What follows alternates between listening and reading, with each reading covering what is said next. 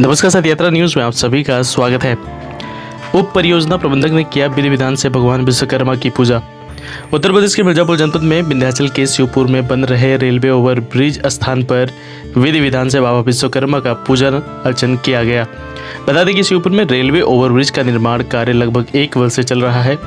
उप परियोजना प्रबंधक सेतु निगम उत्तर प्रदेश रविशंकर उपाध्याय मंत्रोच्चार के साथ भगवान विश्वकर्मा की पूजन अर्चन किए। सहायक अभियंता सेतु निगम, उत्तर प्रदेश जयप्रकाश, उत्तर प्रदेश राज्य सेतु निगम के यूनियन अध्यक्ष बब्बन यादव, बुल्टू राम, रविंद्र कुमार गुप्ता, रमापति यादव राज बहादुर सौरभ पांडे, राजित राम चबिनाथ देवराम आज लोग उपस्थित रहे। उप परियोजना प्रबंधक सहित निगम रविशंकर उपाध्याय ने बताया कि रेलवे ओवरब्रिज 10 जून 2022 तक बनकर तैयार हो जाएगा। विश्वकर्मा पूजा गैपरा में बन रहे रेलवे ओवरब्रिज पर भी किया गया। रेलवे के अलावा विद्युत विभाग मिर्जापुर के स्टोर रूम में एसडीओ अवधेश कुमार यादव, स्टोर बाबू मनीष श्रीवास्तव, ऑपरेटर राजेश कुमार, समीम आदि लोग उपस्थित रहे। सदयात्रा न्यूज़ श्रीवास्तव शर्मा की खास खबर। धन्यवाद। जीव जग में ज्ञान स्वामी ज्ञान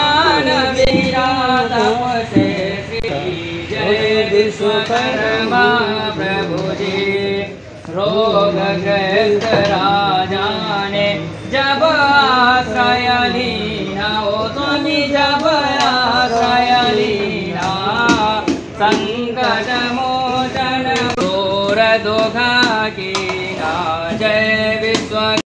सर आपका परिचय?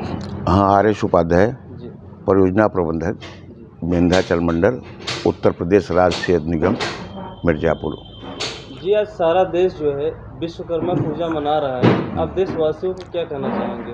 खासकर जहाँ लोहे से संबंधित कार्य होता है गाड़ी घोड़ियों का गाड़ी घोड़ों का जो काम होता है उसमें विश्वकर्मा भगवान का विशेष योगदान रहा है। और ये हम लोग करीब विगत 45-50 वर्षों से हमारे जो लोग हैं सब मनाते चले आ रहे हैं उसी परंपरा को आगे बढ़ाते हुए हम लोग उत्तर प्रदेश राज्य क्षेत्र निगम के लोग पूरे हिंदुस्तान में जहाँ जहाँ हमारे वर्क चल रहे हैं वहाँ वहाँ हम लोग विश्वकर्मा पूजा यथासंभव प्रयास से हम लोग करते हैं। जैसा भी हम लोगों से यथासंभव होता है। कौन सा स्थान है जहाँ पे आज पूजा में आप शामिल हुए हैं? ये टेन ए शिवपुर या रूबी हमारी परियोजना है।